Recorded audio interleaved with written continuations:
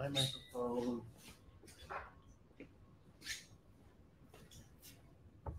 All right, we're live. We're just gonna let that roll a little bit.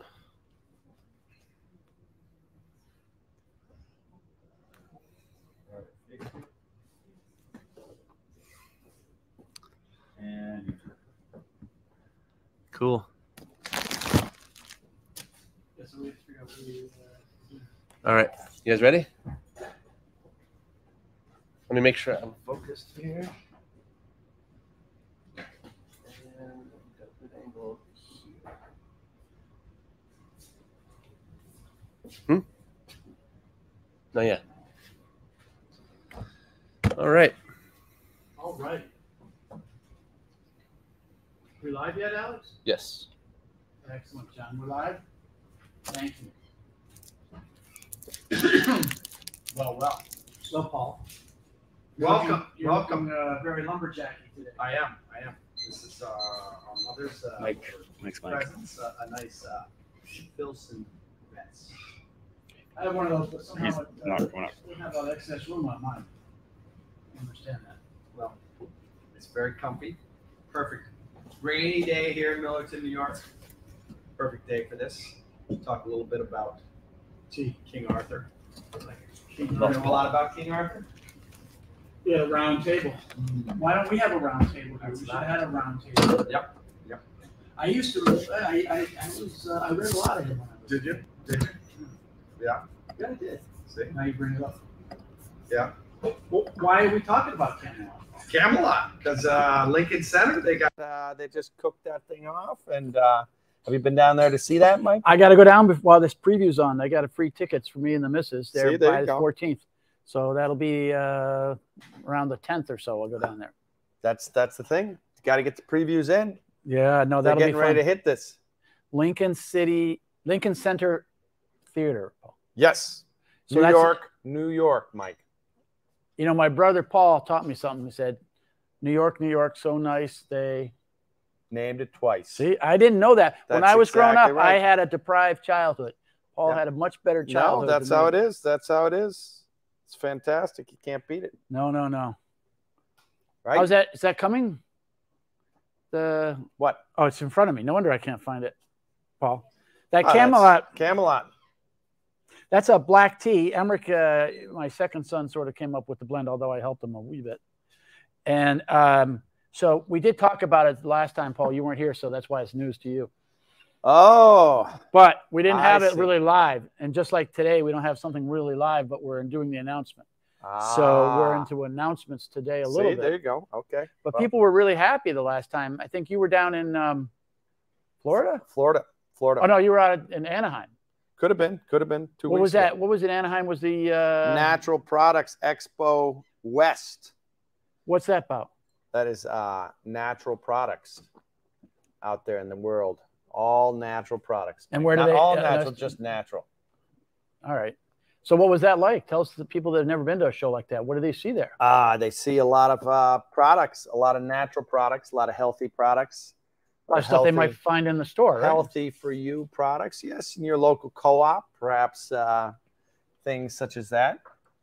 That's where you might find that. You Uh, find some keto type stuff, and you could find anything you want there.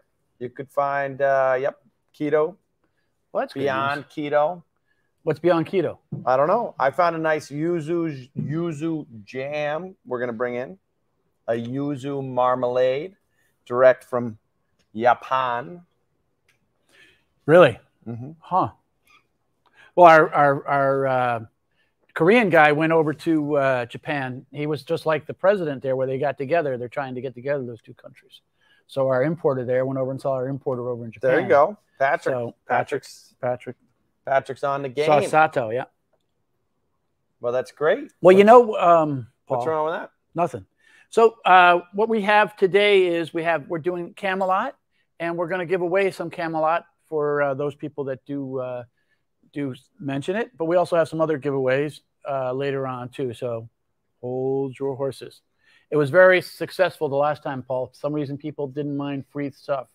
Uh, that's how it is. Yeah, no, free's good. Free's definitely good. We had some actually very nice uh, gifts that were from uh, our friend in uh, in Japan. Speaking of Japan, Tsuyoshi. who I don't know if you read the blog this month, Paul, but they do have uh, he he got the write up. Huh? Yes, he did. Yep. I And did. I did read the blog, and he did get the Sixteen right. hundreds. Yes. Sixteen hundreds. That's a little bit longer than me. But Camelot was before that, Mike. Are you sure? Eleven hundreds. Yep. All right. Okay, It's I'm just gonna chime in because I did some research on this yesterday for Yeah. a hastily thrown together photo shoot. Um, it's actually 460 to 560 See? Common Era. See. That's when it came out. Well, not the play, Oh, oh, oh, but Arthur, like oh.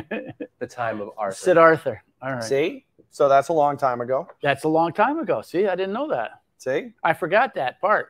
You- it's hard to think of it. Yes. Well, it's a long way, long time ago. So Camelot, we're going to give away some Camelot, and then uh, we also have some uh, some other things. This is a uh, pour over, so you can put your tea in here and you can pour it over.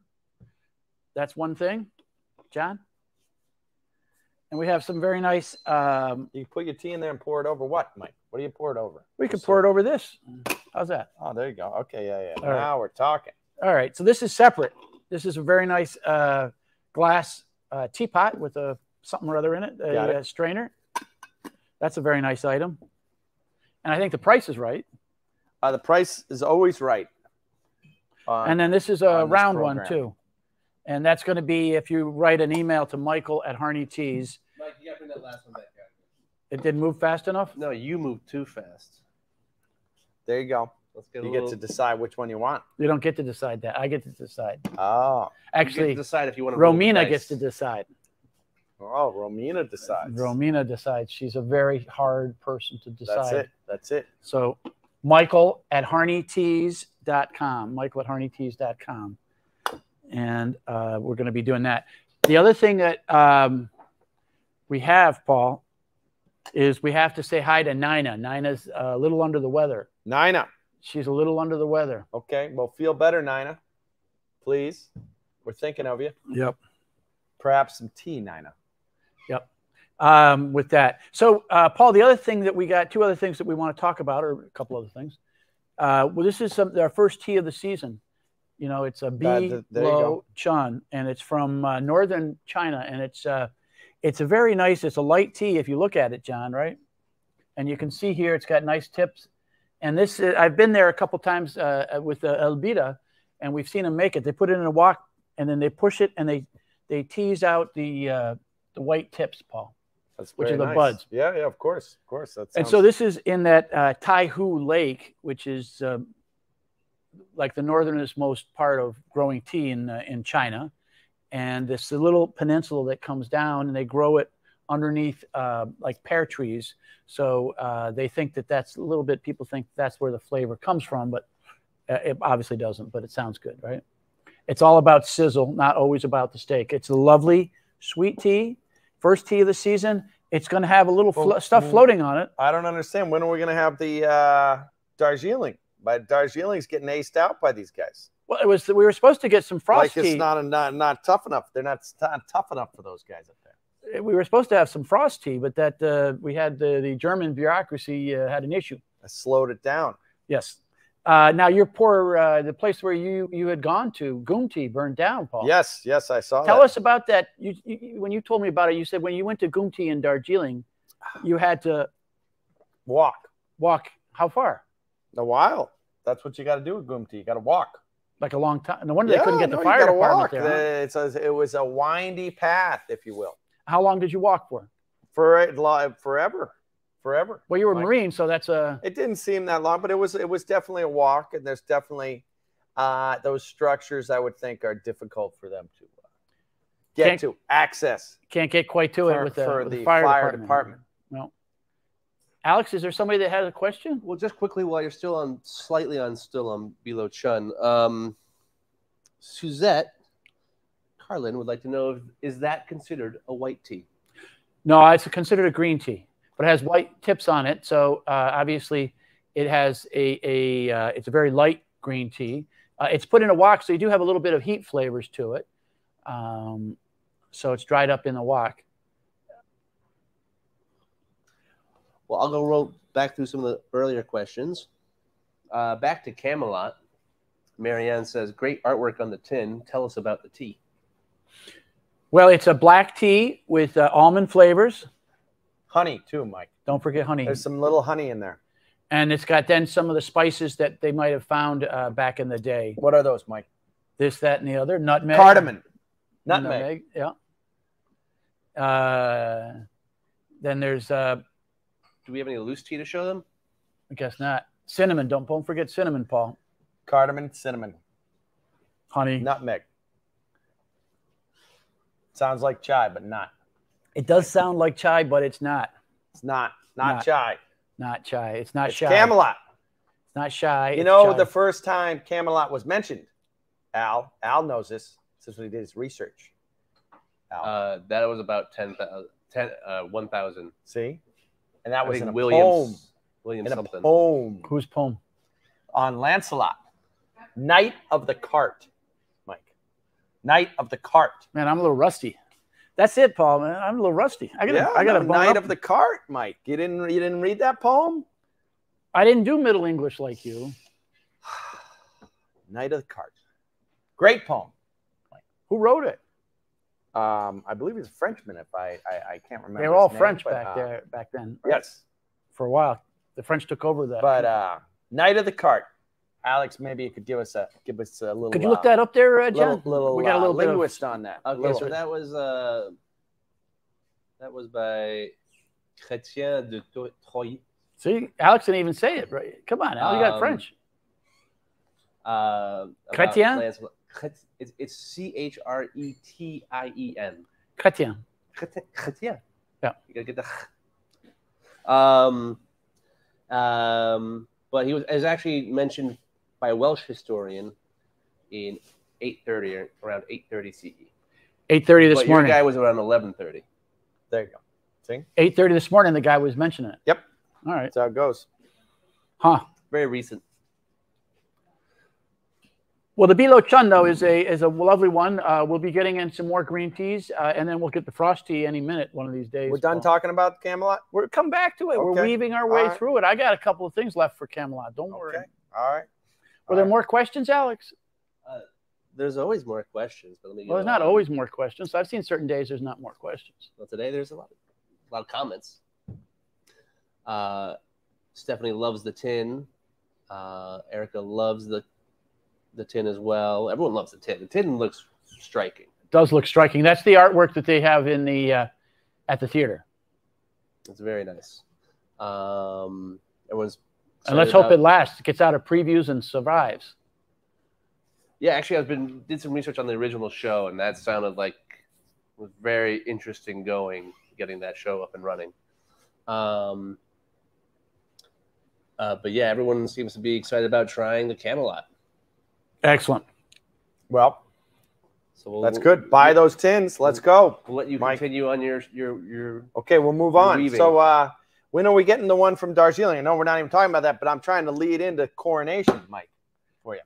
Your nation is my nation, Paul. There you go. That's good. That's well, you know, we're going from King Arthur to King Charles. That's it. Exactly right. King to king. We only deal with kings here. I got that right, right? King Charles III. You know who King Charles II was? What'd you say, Al? This time you got it right. I know I did. I have I have made a mistake more than once, but uh, King Charles II was the his family uh, was started to bring in the uh, tea into uh, into to, uh, England, um, and then he brought he married the uh, Catherine of Braganza, who we named uh, Queen Catherine's tea after, and she brought uh, tea to um, Portugal. from Portugal to. Um, that's good. Do you remember Portugal, Paul? I'm here for you, buddy. But it is she was she was. Uh, She didn't bring it to Portugal? She's from Portugal to England. Right. I thought she brought it back to Portugal. What'd she bring back to Portugal? The tea. No. That, you sure about that? Yeah, I'm very sure about that, Paul. You sure? I, I did the I, don't did know. I did thought the whole did Queen it. Catherine thing. I know. I did it. I got it. Didn't they already have tea in England? No, not no, much. it was her. Yeah, All right, she, see, she, she brought it over. So Queen Catherine, but now we're she back didn't to bring any to Portugal though. they already had it. They already had it. The Brits were behind the times. Who would have known, Mike? Well, now they're not. They're up on top. So now the Brits are doing. Uh, we're having uh, on May sixth, Paul. Yes. we got uh, Charles and um and his uh, spouse are getting married, Camilla. They named her after the tea plant. Just Yep. quick, the getting married. They're getting uh, more than married. Hey, th- hey, as a wife, he's probably she's already probably married as the wife. Yes. But um, they're going to do the um, coronation, Mike. coronation on the sixth, and so they're doing the coronation on the sixth, and we're going to. Uh, we've done a, a beautiful tin, Paul. Yep. It's a beautiful tin, and it's going to be And organic. it's got a beautiful Darjeeling. tea. It's organic Darjeeling inside it. Yeah.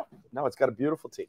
And so the uh, tin is uh, on its way here. It's uh, landed in Illinois, or as some people say, Illinois. Yep. And um, we're going to have it here in a couple of days. And then the tea is landing down in uh, Newark today, Paul. Well, that's a good place to land down there. Right. And uh, they're going to go into the port, and then hopefully they'll come up here. And then we got to get it over for the coronation. Yes. So we're trying to make a boat to get it to England. So it is an honor It's a great honor. that, that we're working with historic royal palaces, Paul. Yes, it is. That's our, our father got that rolling, and um, we're certainly grateful for it, and we're happy to help. Right. So we're hoping that uh, end of next week or early uh, the week after that we'll be able to offer this on our web uh, for people that um, would like to buy the coronation tea. Absolutely. So that's something that's uh, upcoming, and it's coming right up. Well said. Well said, Mike. Uh, more questions, uh, Alex? Yeah, actually, we do have a couple ones that we should address. Um, Lisa would like to know how much. This is back in the Camelot days, if you will.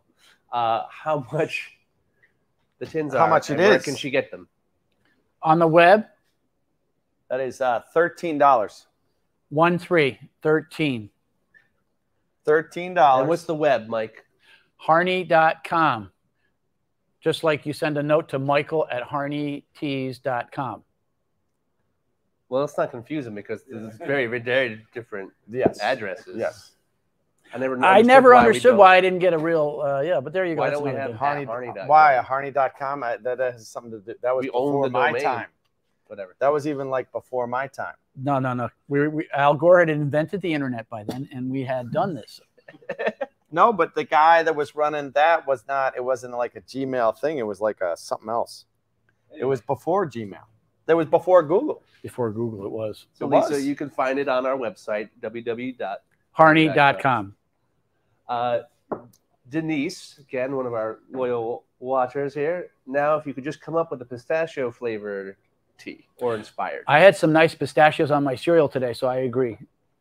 I'm a big pistachio fan Yeah. myself. Um, There's nothing wrong with pistachios. That's true. Who doesn't like them? another longtime um, fan here. Uh, Bernie Levy would like to know Will the Camelot tea be available at the theater? Yes, it is. It's available. They had, I mean, they have to reorder it, but they, we sent down 100 tins the other day. So I don't know what they're doing with it. But um, Emeric should know. If you could make sure we ask Emeric, John, They're probably selling it, Mike. No? just like a t shirt. There you go. Why not? Marianne is wondering, and you may have covered this, is the coronation tea flavored? It is not flavored, it's organic Darjeeling. But it's delicious. I'm having it right now. Yep. All right. And then we have another good question here. Coming locally. Taylor, I drink your organic Darjeeling all the time. How is the coronation tea different? Well, it's going to be a blend of uh, organic uh, Darjeelings, uh, Taylor, and um, it's going to be um, several lots of it put together. So it's going to be a blend. We could not. We had to go on by uh, it. Of course, he only announced. They only announced it a couple of a month or two ago. So we um, we are taking from various estates in uh, the Darjeeling area. It's a good idea.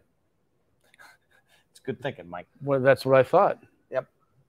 All right. Well, Beta wasn't good. here. I had to think. She made me think. That's how it is. That's how it is. All right. Well, Darjeeling certainly appreciates it. And uh, I emptied the I emptied the the drawer at the at the Darjeeling factory of uh, yes, in over in Germany.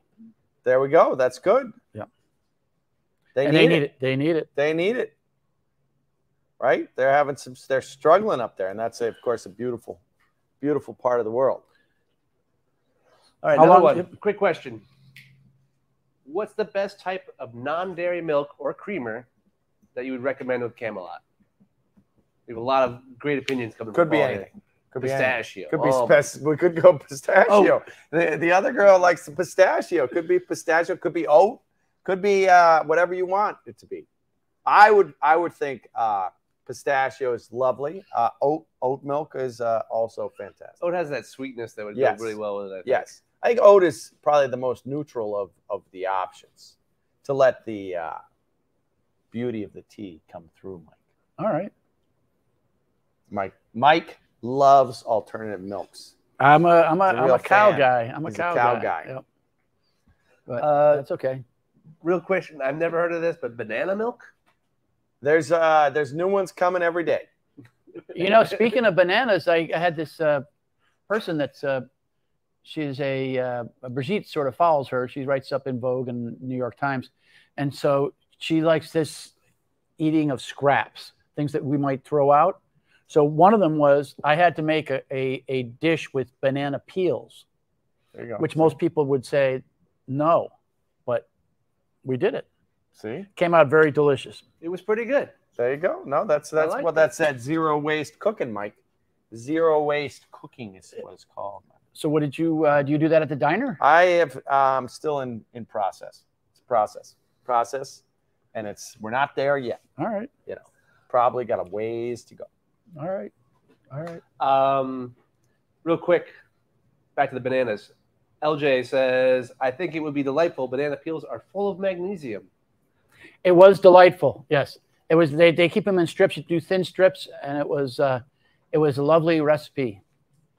Uh, but so the question I think that'll take up some time for us here is Renee, what is the optimum temperature for the perfect cup of tea?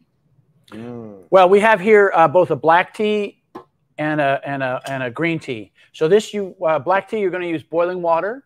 You want to make sure it's filtered so you don't get any chlorine flavor in it. And then you want to brew it for like uh, four to five minutes. So my wife likes four minutes. I like five minutes.